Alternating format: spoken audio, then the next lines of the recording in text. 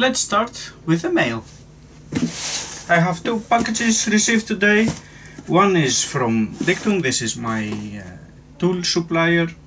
And the other one is from Velbon. Let's start with this one.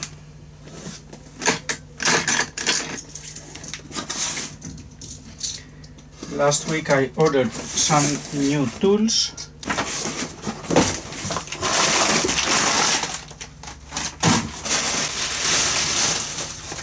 That's the first one, which is a peg scraper for the baby pegs. For smaller pegs than for a, a full-size violin, this is for the smaller ones. And I also ordered the appropriate peg reamer uh, because I have to repair this little uh, violin. This is in 1 8 for children of approximately 6 years old and as you see the pegs are missing so I need to make new pegs. I ordered also some kind of sandpaper to clean the instruments when they are very dirty. A new file. That's nice. And shellac which is a kind of rosin and is used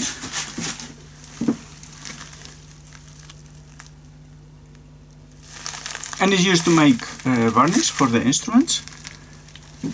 And I will immediately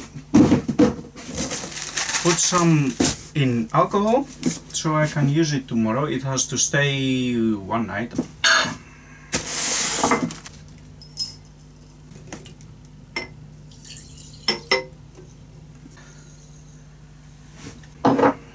this box. Here we have two other boxes. And you may already see what it is. A tripod but a very small one. This is a great size to use here in the workshop because I already use this one. Is even smaller but it's okay.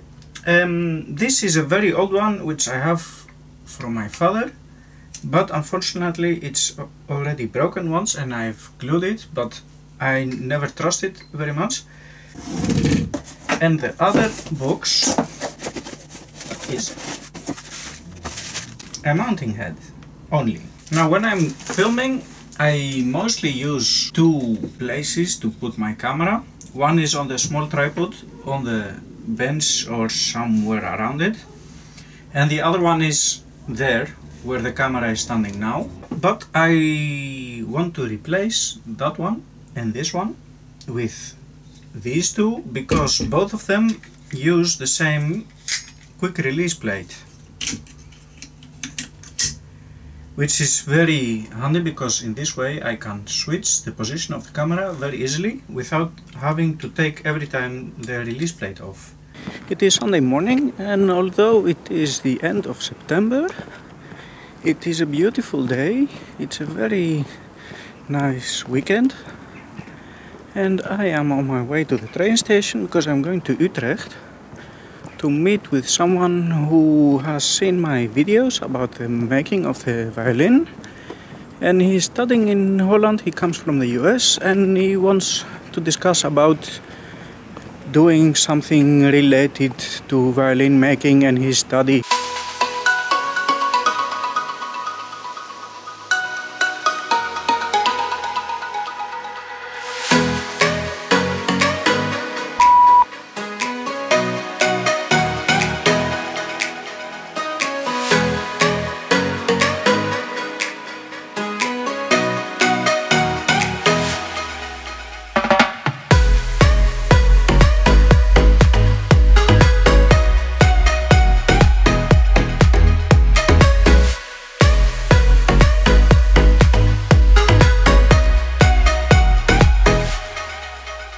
Think that Utrecht is one of the most beautiful cities in the Netherlands. But anyway, my meeting with uh, Ivan is his name was interesting.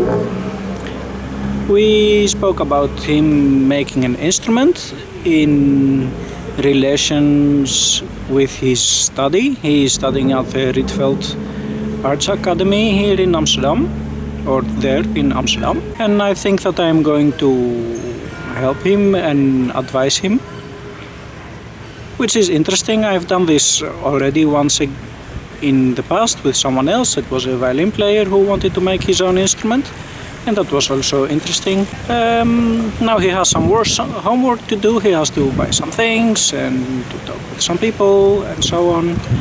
And we will meet again maybe towards the end of October to see what the following steps will be.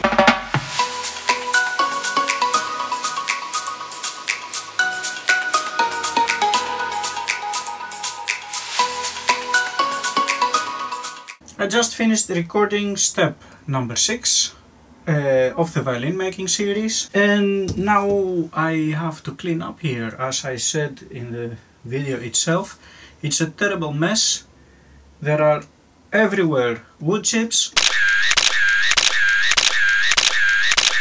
But in the meantime I want to give you an update about what is uh, happening on my channel and what you can expect and what's coming up and so on as you may have noticed, at the moment I'm uh, working on uh, one series, actually two.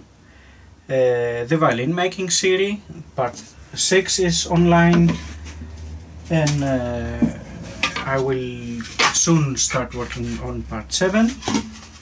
And another series, which is the repair series. You have already seen one part. I don't know where to put my stuff anymore. Uh, part 1 is already online, which is the new pegs on a violin. And those two series will alternate one another um, with one episode every two months on the 10th of every month. So one month it will be the violin making series, the other month it will be the repair series.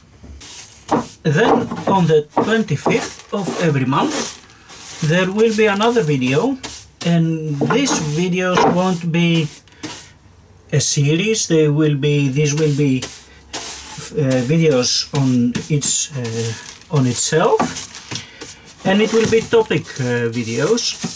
Every time with another topic and uh, these will be like the video about how to tune your instrument or the Cremona video which was online Uh, some weeks ago and this will be on all kinds of topics which are related to the violin, viola, cello and double bass and will be interesting for people who make instruments as for people who play in these instruments. There will be some reviews of different products like cases or uh, like the unboxing of the Stradivari uh, mode which I am using for this uh, for the violin making series.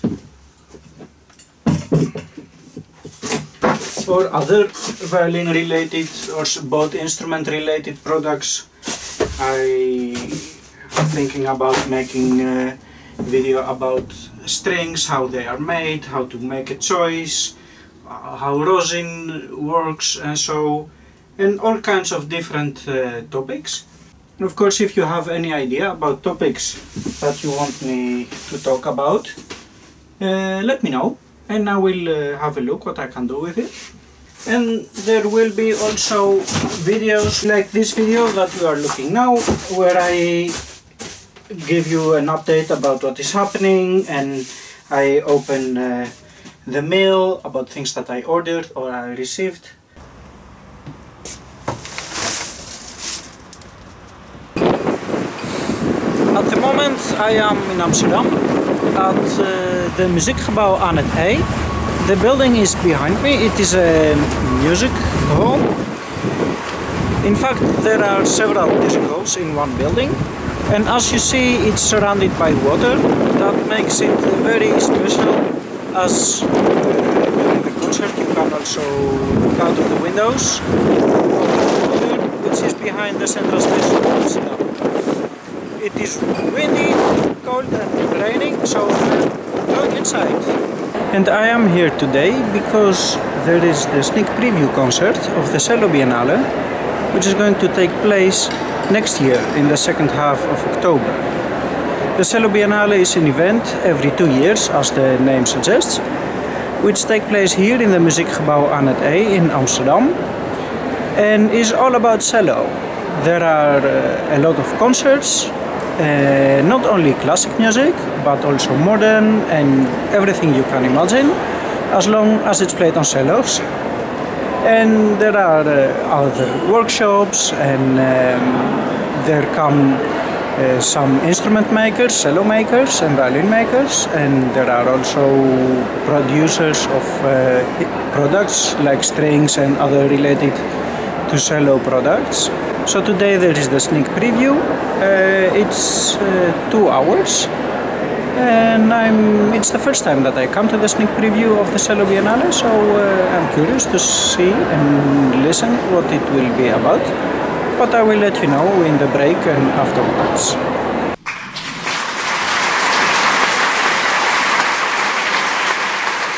The concert is over and I have to say that it sounds uh, very good.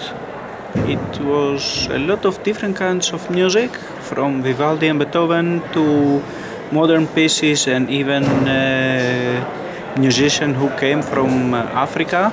We could also listen to the artistic leader of the Cello Biennale who presented in a few words the program and what is going to happen next year in October. Um, and he said a lot of uh, interesting things. I don't remember everything, but he was talking about more than 100 concerts in 10 days with 10 morning concerts. Um, a lot of people who are playing from all over the world and, and students and professionals and also a very big orchestra with 160 children. And there are also in the meantime during the event uh, also other events here in Holland. And he spoke also about uh, a lot of composers who are uh, writing music at this moment which will be played in the Cello Biennale uh, so a lot of interesting things will uh, happen next year in October. It will be from 17 to 28 if I'm not mistaken. Uh, have a look at the website on the, of the Cello Biennale. We, I will put the link in the description. And come because it is very exciting and uh, very interesting. So let me know if there are any topics you want me to talk about. Like this video if you liked it and I will see you next time again. Bye bye!